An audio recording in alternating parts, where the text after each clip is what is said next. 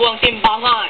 Humantong na ang Fab Five na sina Art Mendoza, Larry Martin, Hazel Chua, Rafi Tan, at Anjet Lalupangko sa pinakaabangang Biggest Loser Pinoy Edition Grand Finale. Kagabi, sa pangunguna ng Game Master na si Derek Ramsey, coaches Jingay Andrada, and Jim Sares, at megastar Sharon Cuneta, nakapansin-pansin din ng malaking pagpayat.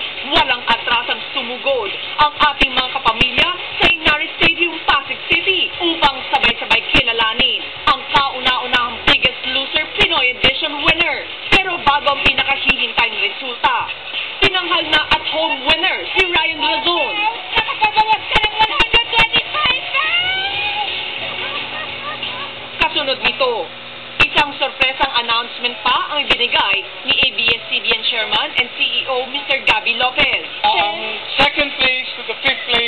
will also be given 500,000 pesos each.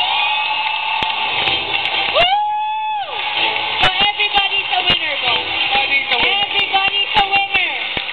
At sa pagdating ng moment of truth, sa huling pagtimbang sa Fab Five, ang itinanghal na pinakaunang Pinoy Biggest Loser, si Larry Martin. Buong Inares Stadium at buong bayan na antigang puso dahil sa tagumpay ni Larry na makatatanggap ng 1 million pesos, isang brand new condo unit, scooter, 40-inch TV set and appliances, at lifetime gym membership. Larry, um, you're one million pesos richer, but uh, that's not the important thing, and I think you know that hindi natin ginawa to para sa pera, ginawa natin to para gumanda ang iyong kalagayan, gumanda ang iyong health, and for you to be around to spend more time with your loved ones. So, Kuya Larry, very, very proud of you. Mula sa Camarines Sur, si Larry ay isang dating pulis na nagnais magpapayat upang muling makabalik sa serbisyo at higit sa lahat, upang manumbalik ang kumpiyansa at respeto sa sarili. Pinatunayan niyang kaakibat ang sariling disiplina at determinasyon. Walang imposible sa paggamit ng inaasam na timbang at malusog na pangangatawan. Unang pumasok sa Biggest Loser Camp na may bigat na 255 pounds. Ngayon ay 154 pounds na lamang siya.